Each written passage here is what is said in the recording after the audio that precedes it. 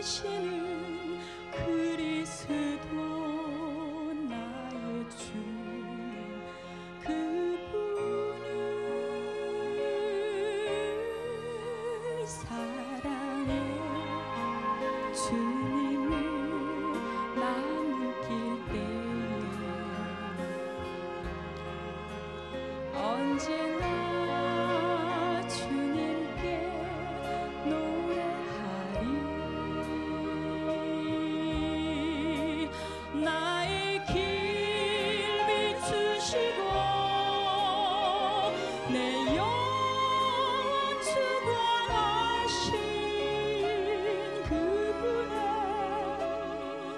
인자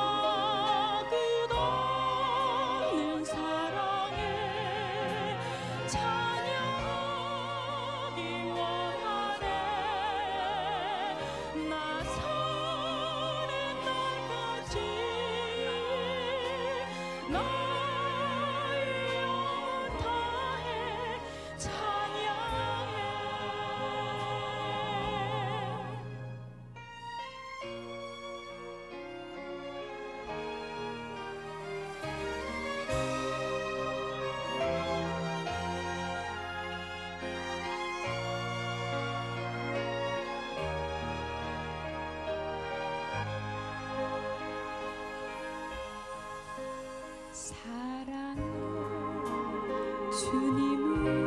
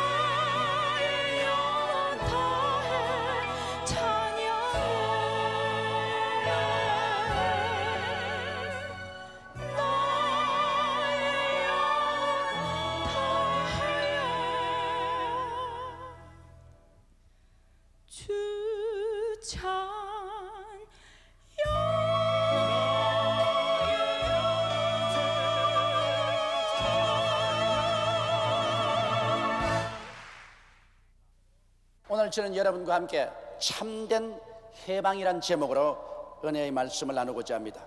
우리 인류는 아담과 하와의 타락 이후 원수 마귀의 지배하에 놓여서 갖은 고통과 수욕을 다 당하고 살아왔습니다. 우리의 영혼은 도적질 당하고 죽임을 당하고 멸망을 당하며 살아왔었습니다. 하나님과 원수된 자리에서 사람들은 하나님 없는 삶을 살다가 영원한 지옥으로 비참하게 떨어지는 운명에 처해 있었습니다.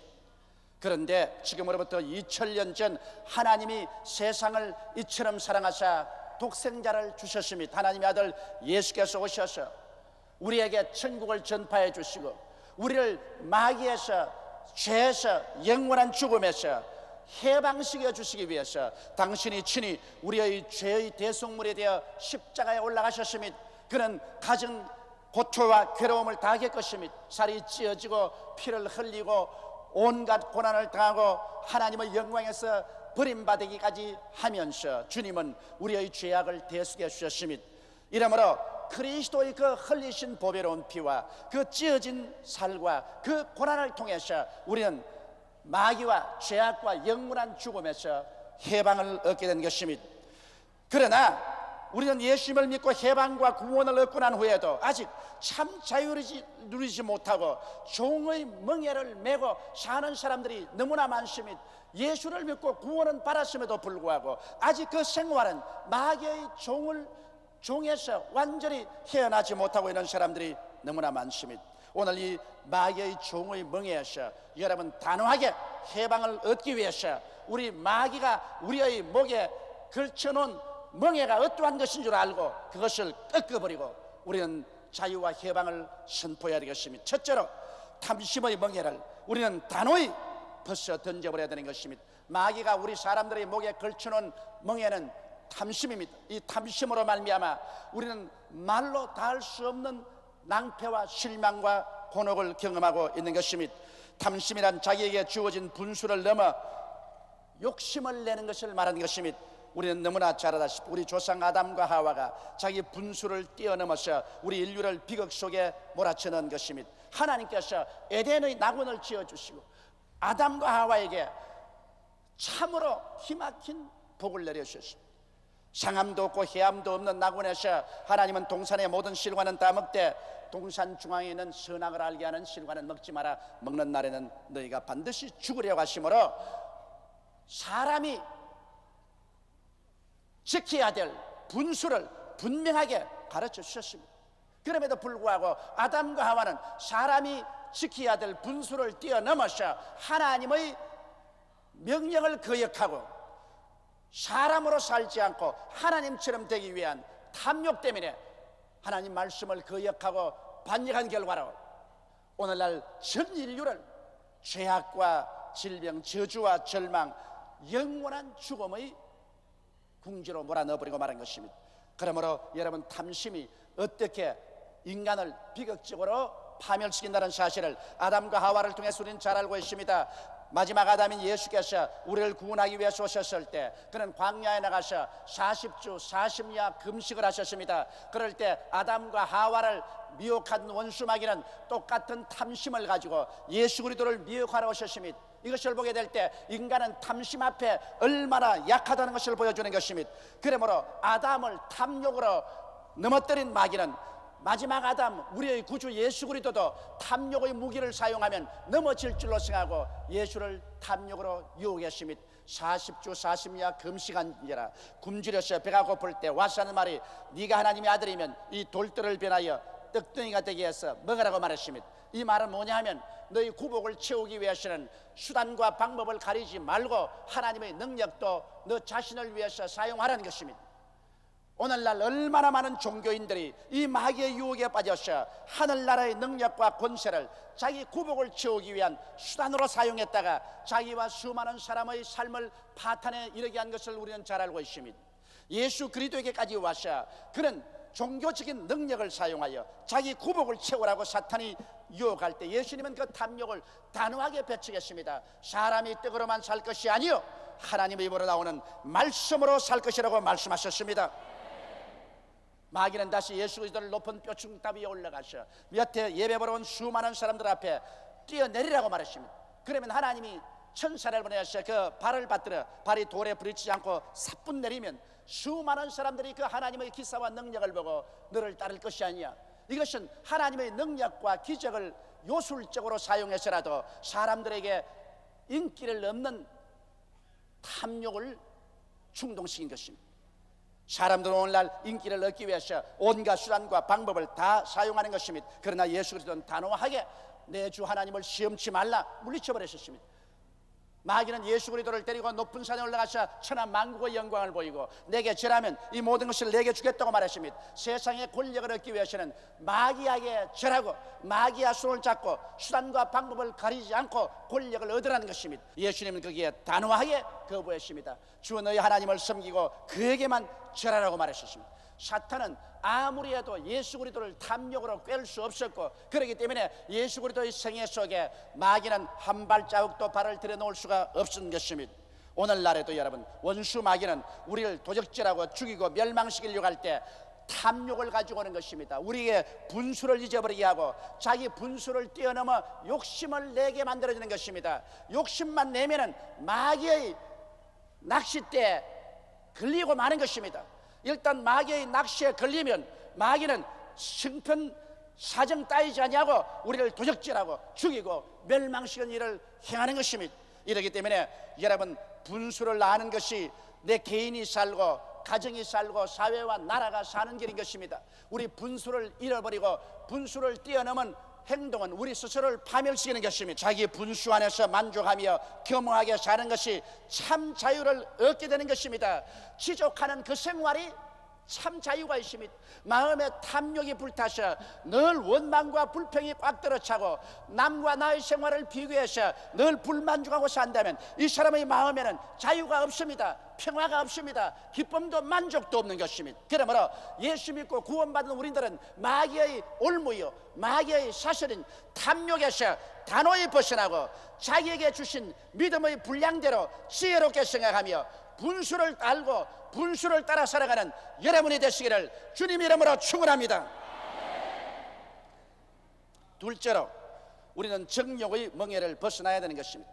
오늘 문명국을 중심으로 한 온 세계는 에이즈 공포증에 사로잡혀 있습니다. 그리고 이 에이즈는 절제하지 못한 정욕의 산물인 것입니다.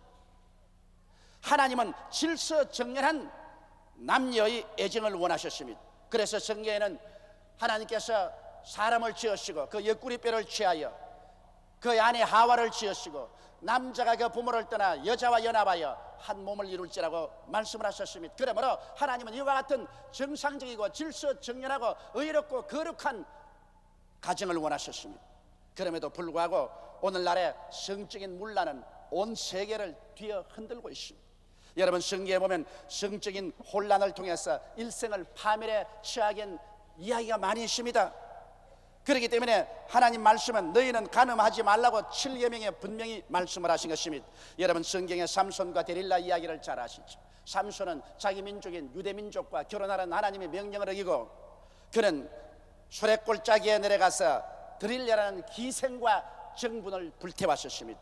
삼손은 이스라엘의 사사시대 위대한 구원자요 성령의 권세와 기름 부음이 있는 지도자였습니다. 그러나 그가 일단 소래골짜기의 드릴라의 사랑에 빠지고 그 무릎을 벽에 삼아서 그곳에서 뒹굴고 있는 동안에 그는 파멸의 길을 향해서 줄담치 가고 있었습니다.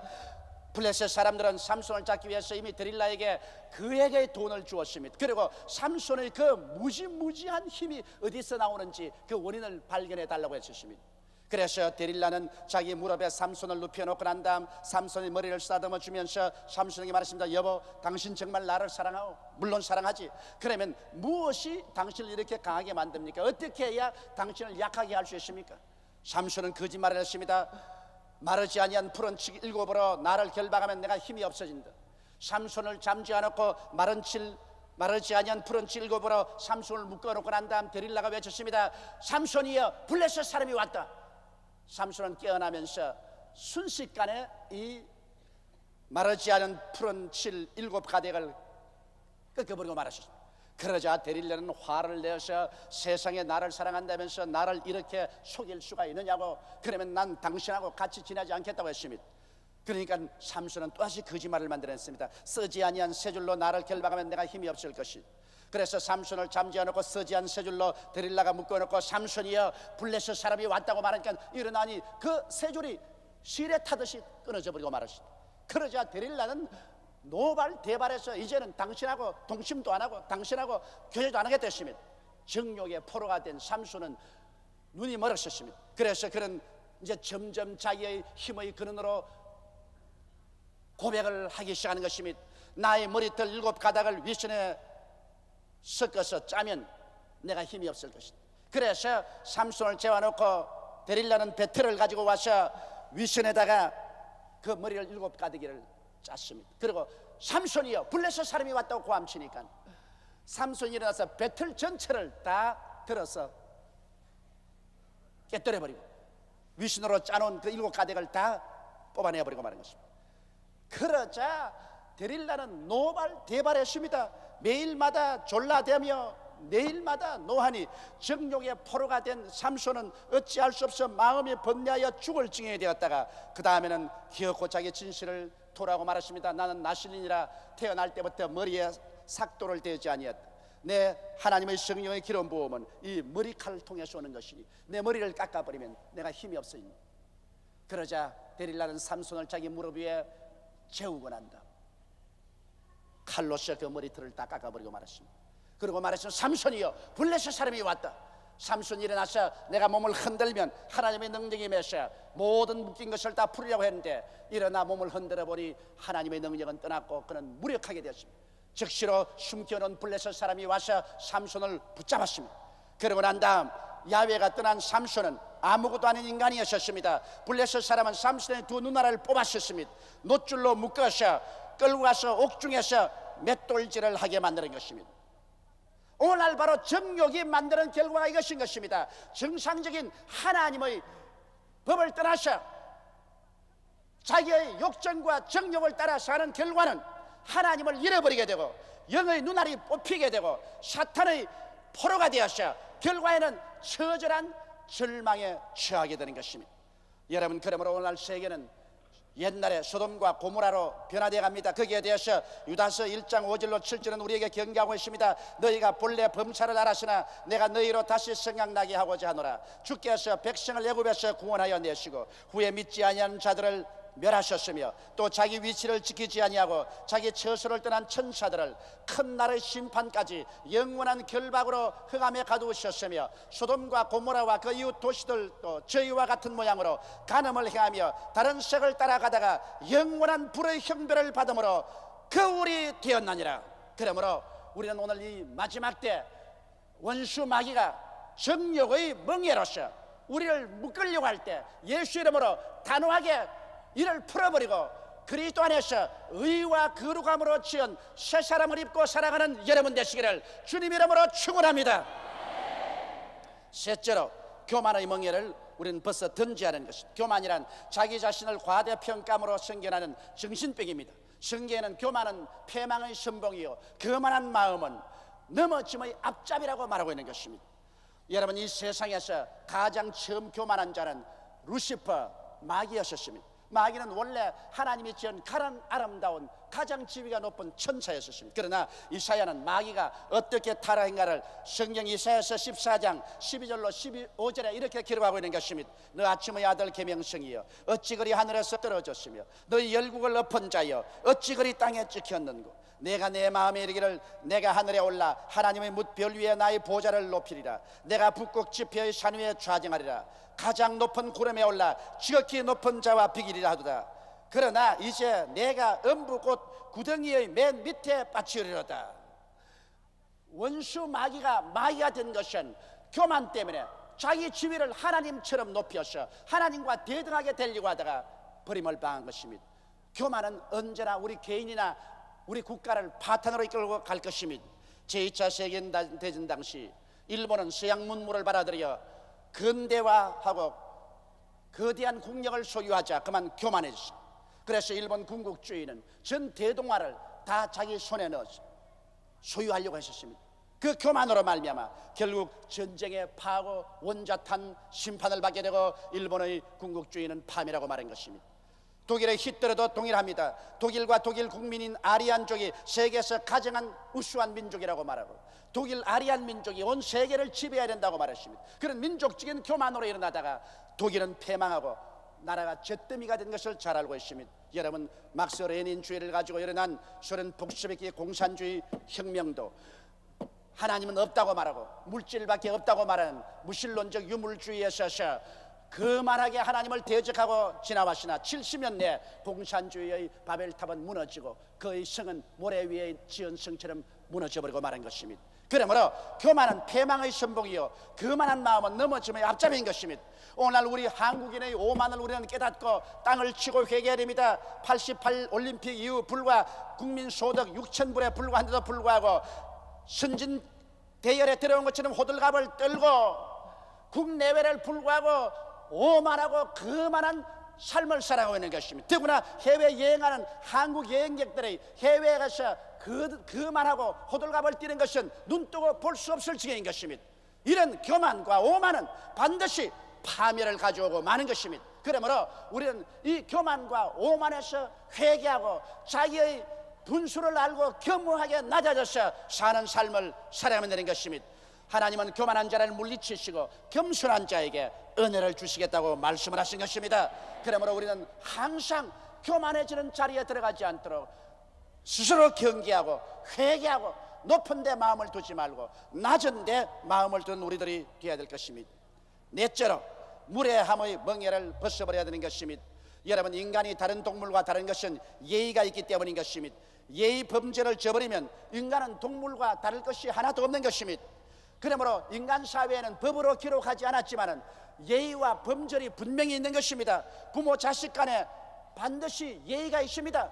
내 부모를 공경하라는 것은 법으로 지어놓, 적어놓지 않아도 모든 사람의 가슴 속에 새겨놓은 예의 범절인 것입니다. 가족 중 손이엇뿐과 손 아래뿐 형과 아우 간에 예의와 범절이 반드시 있습니다. 손 위에뿐이나 손 아래뿐이나 형이나 아우나 차별할 것 없이 너나 할 것 없이 멱살을 잡고 헛는다면 이것은 파탄을 가져오고 마는 것입니다. 인간 사회 속에서는 우리가 지켜야 될 가장 근본적인 예의 범절이 있습니다. 선생과 제자, 선배와 후배 간의 예의와 범절이 반드시 있습니다. 이웃과 이웃 간의 예의 범절이 있습니다. 예의를 저버리면 깡패 사회가 되고 마는 것입니다. 신사 사회가 되지 아니하고 살만한 질서는 사회가 되지 아니하고 깡패 사회가 되는 것입니다. 성경에도 고린도전서 13장에 사랑은 무례히 행치 아니한다고 말한 것입니다. 그러므로 예의를 저버리면 개인과 가정과 사회와 국가가 종말을 구하게 되는 것입니다. 이 종말적인 현상 중에 뚜렷한 것이 예의 범죄를 저버린 생활이라고 성경은 말하고 있습니다. 디모데후서 3장 1절로 5절에 보면 내가 이것을 알라 말세에 고통하는 때가 이르니 사람들은 자기를 사랑하며 돈을 사랑하며 자긍하며 교만하며 회방하며 부모를 거역하며 감사치 아니하며 거룩하지 아니하며 무정하며 원통함을 풀지 아니하며 참수하며 절제하지 못하며 사나우며 선한 것을 좋아하니하며 배반하며 팔며 조급하며 자고하며 쾌락 사랑하기를 하나님 사랑하는 것보다 더하며 경건의 모양은 있으나 경건의 능 능력은 부인하는 자니 이 같은 자들에게서 내가 돌아서라고 말씀하고 있는 것입니다. 오늘날 우리 사회생활 속에 최소한도의 예의 범절 주사도 지키지 아니하고 자기 멋대로 자기 원한 대로 행하는 사람이 너무나 많습니다. 이와 같은 무질서에서 돌아서서 법과 질서를 존중하고 예의와 범죄를 사랑하면서 살아나갈 때 우리는 참 자유를 누리고 참 행복한 우리의 개인 가정 생활 사회 국가를 만들어 갈 수가 있는 것입니다. 예수 믿고 구원 받았어도 그 마음속에 탐심이 요란하게 날뛰고 정욕이 뛰고 교만하고 무례함 등의 원수 마이가 드글드글 끓고 있는 이상 그의 신앙에는 참 자유가 있을 수가 없는 것입니다. 우리가 예수 그리스도를 믿고 그 보배로운 피를 의지해서 값없이 구원을 받았으면 그 구원의 능력을 가지고 우리 속에서 날뛰는 탐심의 마귀 정력의 귀신, 교만, 무례함들을 다 벗어버리고 그리스도 안에서 참으로 의와 거룩함을 지은 새 사람을 입고 천국길로 유유히 걸어가게 되시기를 주님 이름으로 축원합니다.